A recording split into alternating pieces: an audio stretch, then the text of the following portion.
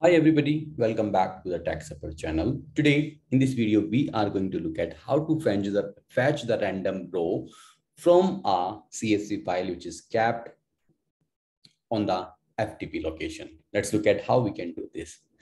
And so guys, before I start, I will request everybody to subscribe to my channel and click on the bell icon to get regular updates. Now let's get started. And first, let's understand the use case. Why do we need to get the random employee? Maybe you have one CSV file wherein you have the list of employees. You are doing, uh, you are playing a game wherein you wanted to uh, provide some rewards to, a, to an employee. So what you can do, and you, you wanted to uh, provide that award to a random guy. Okay, so what you can do, you can simply hit that integration and get a random employee data from that CSV file. So that integration may be helpful in all those cases. So like we have this file wherein we have a list of employees like this, and then we wanted to get a data from this file in a random manner. Like I wanted to get the one employee like 103, employee name is Ravi and employee email. Or when I hit this integration second time, I wanted to get the another employee, random employee like 117 Kevin and this guy. Let's look at how we can achieve this. So I'm going to show you each and every step, which will help me to get that random employee. So I will open my Oracle integration screen wherein I'm going to show you. So before I show the use case, I'm going to show you I have created a library called randomg. In this, I have one function called random, which will give me a random value. Let me show you my JavaScript function, which I have written. My random function, which generates me a random number of two digits why I am generating the random number of two digit considering I have only the employees like 200, 300, 400, not more than that. So in this case, it will helpful, right? If you wanted, if you have a long file like uh, wherein we have a number of, you know, uh, in thousands or millions, then you have to increase, you have to increase this limit, and then you have to get the random number of a big digit. But considering I have less data, hence I am generating a random number of two or three digits, right? Fine, I have one file which is there on my FTP location. And this is the file employee.csv. Let me show you that file as well. So here, this is my file, which has uh, 200 employees. Okay. So what I want, I wanted to fetch not 200, maybe uh, less, but that's fine. It has uh, almost 100, 100 rows in this file. Okay, so I wanted to fetch a employee from this file, a random employee, and that is there on my FTP. Fine. Now let's get started and understand how we can achieve this. So if you wanted to see how do you register this library, you can look at another video which is used, which is which is there on the YouTube on a title, how to generate a random number in Oracle integration. I'll give you the link in the description. You can take it from there. Now let's look at, let me create a app driven orchestration here. Let's say get random employee and then click on a create button. And then I'm going to generate one REST API here. And let's say get EMP and let's say random, and then I need a response back. I will choose JSON and then align. And let's do EMP ID, EMP name, EMP email. So I need these three information from the file. Next, and then finish. Now, the next thing, I need to read the file. So I'll make a FTP adapter call.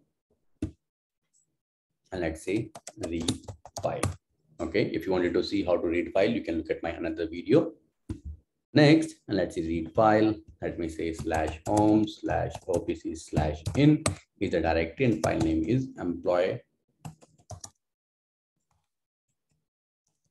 employee.csv. So this is my file, which is there on my FTP. Let me just take the correct name. So this is a correct name, fine, slash home, slash office slash in the CSV file. Let me read that CSV file. Let me just give that CSV file, EMP ID, EMP name, EMP email address. Let me say employee and then employee said next and then finish. Now, as a next step, I need to fetch the random value from the JavaScript. So I will call my JavaScript function using, using that JavaScript action and let's say get, get random create and function and random. This is my function rand rand select and then validate and then close. Fine. And then basis on that random number, I need to fetch the particular row from this result. So I'll edit my get emp mapper. And then first of all, I'll use this read file response.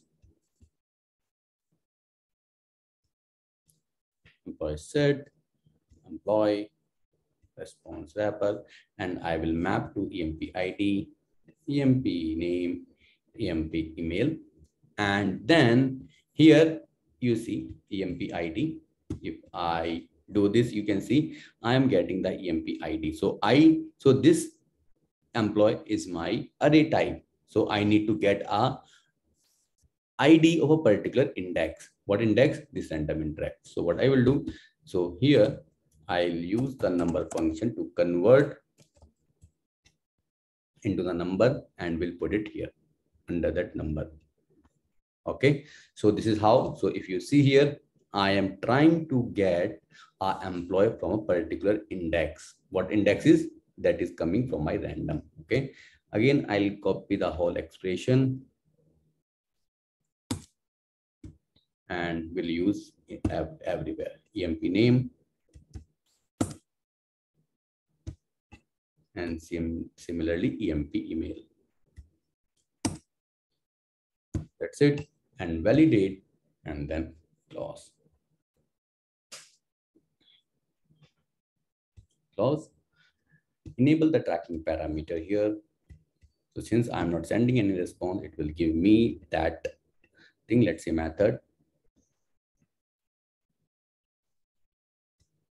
So tracking name cannot take dots. So I'll simply say method, save, save, and then close. I will activate this integration and then activate. And simply test this integration. So you don't need to pass anything. Let's click on a test and you will see one random row will be picked up and will be sent out of the response. You see 106. Test it one more time.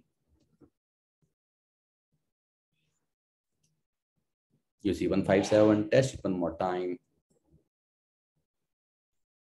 Every time you test, you will get a random guy.